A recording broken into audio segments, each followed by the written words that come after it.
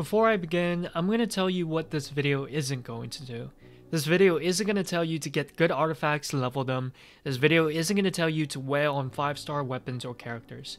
Today, I'm going to give you a no BS guide on how you can improve your damage right now with the characters, weapons, and artifacts you have. Let me repeat that again. Today, I'm going to give you a no BS guide on how you can improve your damage right now with the characters, weapons, and artifacts you have. What you're about to learn are some common mistakes that a lot of accounts I've reviewed have in common. If you want your account reviewed and get personal tips on how to optimize it, make sure to tune into my live stream at twitch.tv slash concept2g where you can participate for free. I've been doing these for the past week or so and the feedback and demand has been very positive. I hope to see you there. Real quick, here's the previous winner of the Battle Pass giveaway. I'll be giving away another Battle Pass for this video. Just like, comment, and subscribe if you want to enter. Good luck. So here are my 5 tips that you can use right now to do a lot more damage. Number 5 is very underrated and my personal favorite. Number 1 is understanding enemy resistances. So beyond the slimes being immune to certain types of damage, all types of enemies have a distribution of resistances and weaknesses against the elements. So knowing this and bringing the right characters for the fight is the difference between struggling and beating the enemies easily. For example, if you're bringing Electro Keqing to fight against an Electro Abyss Mage, you've lost 50% of your damage just by making that decision. Before the fight even begins, you're already at a huge disadvantage. If you bring Razor for the Ruin Guards in floor 12 of the Abyss, you've lost 70% of your damage from the very start. A lot of players don't know this, which means they're struggling not because they don't have any 5 stars or perfect artifacts, it's because they're shooting themselves in the foot without even knowing. Here's the graphic for all enemy resistances against the elements, and I've put it in the description so you can save it for future reference. As you can see, enemies typically start with a 10% resistance against all elements. Then, depending on the type of enemy, they could have either more resistance or weaknesses against certain types of damage. You can see here that Fatui Skirmisher and Treasure Hoarders actually have a negative 20% resistance to white damage, meaning if you're bringing a Razor or any physical damage carry, you're already doing 20% more damage for absolutely free. So let's not make the game harder for ourselves and start being smart on the types of characters and team builds we bring to every fight. My number two tip is resource prioritization. Now this seems like a no-brainer, but a lot of people are not doing this. From the accounts I've reviewed, there's been a lot of cases where players split their best artifacts onto multiple characters instead of focusing on their main DPS first. For example, you guys claim that you have bad artifact RNG, and then I see your support Bennett having an insane flower with great crit rate and crit damage rolls. Why would you not funnel all of these into characters that's actually doing the most damage on your team? It makes no sense and I know you guys feel the same way. Also, make sure you're being a spoiled brat when it comes to picking artifacts. Don't plus 20 any mediocre artifact, you're wasting so many resources. Rather, look for artifacts that at least have both crit rate and crit damage in the substats for your DPS characters. That means crit rate and crit damage substats in your flower, feather, and sands, and then an elemental damage bonus cup followed up by either a crit rate or crit damage circlet. Now, you may not have these right now, but that doesn't mean to settle in plus 20 subpar artifacts. Be patient and know that even the greatest whales suffer from bad artifact RNG. Work with what you have, and the good artifacts that you do get, make sure they're on your main DPS character first before your sub DPS and supports. My number 3 tip is understanding crit rate and crit damage ratio. Nothing gets me more riled up than seeing terrible management of crit rate and crit damage ratios. For example, one of the accounts I reviewed has a Klee that had 10% crit rate and 200% crit damage. That basically means that once in the blue moon, he's gonna do big damage, but most of the time, his Klee is straight up throwing small pebbles at the enemies.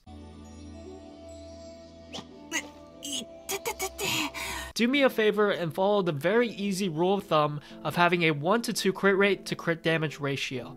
Somewhere around 60% crit rate with 120% crit damage is a very nice spot to sit. Now, there are a few exceptions when it comes to Cryo Resonance, Cryo Artifact Set, and Keqing's P4, but generally this is what you want for all your main DPS and sub DPS characters.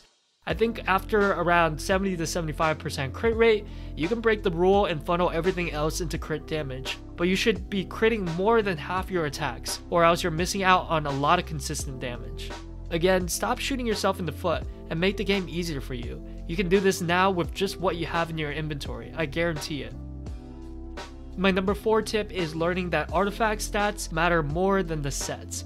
Now, a lot of you guys are probably saying, but Concept, I have the worst artifact RNG in the world. All my glad pieces roll defense percentage, it's so unplayable. And with that, I say you're missing the forest for the trees. Artifact sets do not matter more than their stats. If you learn absolutely nothing from this video, this is what I want you to take away. I'd rather run 4-piece Maiden Xiao with perfect artifact, main, and substats than run 2-piece Gladiator and 2-piece Viridescent Venerer with garbage stat rolls. Sets don't give you crit rate and crit damage. Stats do. Sets don't give you as much attack percentage and elemental damage bonus. Stats do. So please don't just blindly follow these artifact builds that all these YouTubers are telling you to build. Use the best of what you have now and eventually build into the perfect set with the perfect stats. I'm so tired of people coming on my stream and seeing a Thundering Fury set on Ganyu and then spamming me with question marks. Let's all realize that we all know how to read and build artifact sets, but not all of us have the perfect artifacts. A few exceptions to this are 4-piece Noblesse for utility support, who doesn't really care that much about the stats, and 4-piece Viridescent Venerer for your Anemo supports that again care more about buffing your allies than having optimized stats themselves. My last tip is team building. This is something that will boost your damage the most and it's not talked about nearly enough. A lot of times I see team builds with people putting four characters together that don't synergize well with each other. This is fine if you just like those characters and are playing for fun, but in boss fights in the Abyss, this is gonna hurt you a lot. Chances are you're not using each character to their maximum potential, and they're legit just bench warmers that don't provide much to your characters off the field.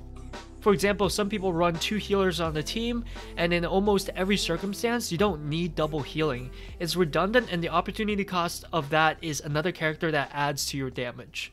You should really think about why you're putting a character on the team and if that's the best option possible.